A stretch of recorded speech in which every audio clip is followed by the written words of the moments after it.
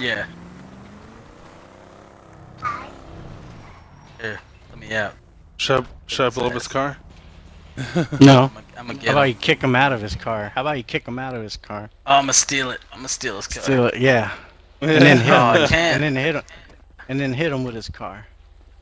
Here, hold on. I can't steal Show, it. you- Let show you how it's do it. There oh you wait, go. There you alright. Let me kill. Let me kill him. Alright, my bad. My bad. He's go. dead. He's He's, dead. done. son. Here.